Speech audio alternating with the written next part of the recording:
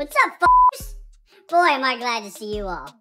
As you can probably tell, I'm in a bit of a situation. So, I was...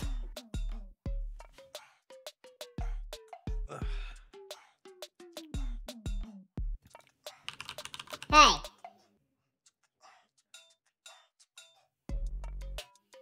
Hey! What the hell do you think you're doing? I was I was just gonna look up some videos. On my computer. Yeah, didn't know you were here. What happened to you? Why are you so tiny? Dude, I don't know. I was just browsing through the fridge looking for a snack and I saw a cupcake.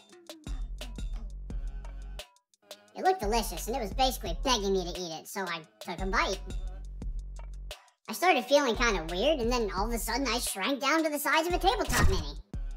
It took me four hours to get up here.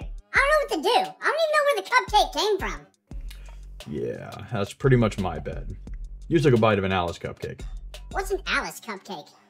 Well, come on, you read Alice in Wonderland, right? I mean, I've seen the cartoon. Oh. Wait, how did you get your hands on an Alice cupcake? From my dealer. I was actually asking for an acid cupcake. Pretty sure he misheard me. An acid cupcake? Harold, you've got a problem. Shut up. At least I'm not four inches tall. Who's got the real problem?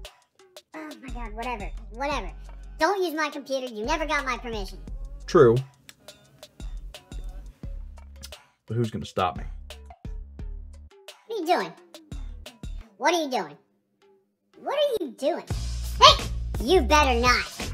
Relax. This isn't gonna take that long. What are you doing?